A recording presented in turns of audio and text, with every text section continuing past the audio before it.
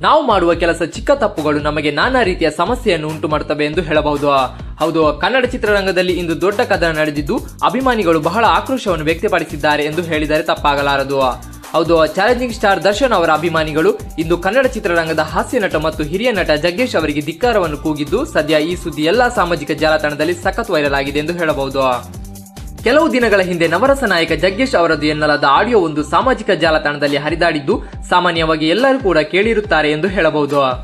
ಇನ್ನು ಆ ಆಡಿಯೋ ದರ್ಶನ್ ಅವರ ಅಭಿಮಾನಿಗಳ ಆಕ್ರೋಶಕ್ಕೆ ಕೂಡ ಕಾರಣವಾಗಿತ್ತು. ಇನ್ನು ಈ ಆಡಿಯೋ ಬಗ್ಗೆ ಖುದ್ದು ಜಗ್ಗೇಶ್ ಅವರೇ ಟ್ವೀಟ್ ಮಾಡಿದ್ದು ಸಮಜಾಯಿಷಿಯನ್ನು ಕೂಡ ನೀಡಿದ್ದರು ಎಂದು ಹೇಳಬಹುದು. ಬೂದಿ ಮುಚ್ಚಿದ ಕೆಂಡದಂತೆ ಇದ್ದ ಈ ವಿವಾದಕ್ಕೆ ಮತ್ತೆ ಈಗ ಕಿಡಿ ಹೊತ್ತಿಕೊಂಡಿದ್ದು ರಾಜ್ಯದಲ್ಲಿ ಸಖತ್ ವೈರಲ್ ಆಗಿದೆ ಎಂದು ಹೇಳಬಹುದು. ಹೌದು ಸ್ನೇಹಿತರೆ, ದರ್ಶನ್ ಅವರ ಅಭಿಮಾನಿಗಳು ಈಗ ಜಗ್ಗೇಶ್ ಅವರನ್ನು ಮುತ್ತಿಗೆ ಹಾಕಿದ್ದು ಜಗ್ಗೇಶ್ ಅವರು ಕ್ಷಮೆ ಕೇಳಬೇಕು ಎಂದು ಆಗ್ರಹಿಸಿದ್ದಾರೆ. ಇನ್ನು ಈ ಸುದ್ದಿ ಈಗ ಸಖತ್ ವೈರಲ್ ಆಗಿದ್ದು ಜಗ್ಗೇಶ್ ಅವರು ಎಷ್ಟೇ ಹೇಳಿದರು ಬಿಡದ ದರ್ಶನ್ ಅಭಿಮಾನಿಗಳು ಜಗ್ಗೇಶ್ ಅವರು ಕ್ಷಮೆ ಕೇಳಬೇಕು ಎಂದು ಜಗ್ಗೇಶ್ ಅವರ ಎದುರು ಪಟ್ಟು ಹಿಡಿದು ಕೂತಿದ್ದರು.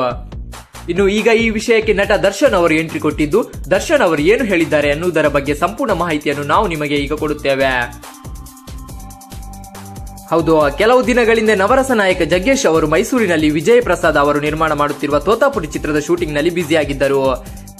ಇನ್ನು ಹಠಾತ್ ಆಗಿ ದರ್ಶನ್ ಅಭಿಮಾನಿಗಳು ಜಗ್ಗೇಶ್ ಅವರಿದ್ದ ಶೂಟಿಂಗ್ ಸ್ಪಾಟ್ಗೆ ಹೋಗಿ ಜಗ್ಗೇಶ್ ಅವರಿಗೆ ಮುತ್ತಿಗೆ ಹಾಕಿದರು. ನೀವು ಚಾಲೆಂಜಿಂಗ್ ಸ್ಟಾರ್ ದರ್ಶನ್ ಅಭಿಮಾನಿಗಳಿಗೆ ಅವಮಾನ ಮಾಡಿದ್ದೀರಿ. ನೀವು ಕೂಡಲೇ ಕ್ಷಮೆಯನ್ನು ಕೇಳಬೇಕು ಎಂದು ಅವರು ಧಿಕ್ಕಾರವನ್ನು ಕೂಗಿದ್ದಾರೆ. ಮತ್ತು ನೀವು ಕ್ಷಮೆಯನ್ನು ಕೇಳದೇ ಇದ್ದರೆ ನಾವು ಇಲ್ಲಿಂದ ಹೋಗುವುದಿಲ್ಲ ಎಂದು ಎಚ್ಚರಿಕೆಯನ್ನು ಕೂಡ ಕೊಟ್ಟಿದ್ದಾರೆ. ಇನ್ನು ಕೆಲವು ಸಮಯ ದರ್ಶನ್ ಅಭಿಮಾನಿಗಳನ್ನು ಸಮಾಧಾನ ಮಾಡಲು ಸ್ವತಃ ಜಗ್ಗೇಶ್ ಅವರೇ ಯತ್ನಿಸಿದ್ದಾರೆ. ಆದರೆ ಅದು ಸಾಧ್ಯವಾಗಲಿಲ್ಲ. ಸದ್ಯ ಈ ಸುದ್ದಿ ದರ್ಶನ್ ಅವರ ಕಿವಿಗೆ ಬಿದ್ದಿದ್ದು, ಸದ್ಯ ಅವರು ಮೌನವಾಗಿ ಉತ್ತರವನ್ನು ಕೊಟ್ಟಿದ್ದಾರೆ. ಹೌದು, ದರ್ಶನ್ ಅವರು ಇದರ ಬಗ್ಗೆ ಯಾವುದೇ ರೀತಿಯ ಪ್ರತಿಕ್ರಿಯೆಯನ್ನು ಕೊಡಲಿಲ್ಲ ಮತ್ತು ಅಭಿಮಾನಿಗಳು ಕೂಡ ದರ್ಶನ್ ಅವರ ಪ್ರತಿಕ್ರಿಯೆಗಾಗಿ ಕಾಯುತ್ತಿದ್ದಾರೆ ಎಂದು ಹೇಳಬಹುದು. ಸ್ನೇಹಿತರೆ, ಈ ಘಟನೆಯ ಬಗ್ಗೆ ನಿಮ್ಮ ಅಭಿಪ್ರಾಯವನ್ನು ನಮಗೆ ತಪ್ಪದೆ ಕಮೆಂಟ್ ಮೂಲಕ ತಿಳಿಸಿ.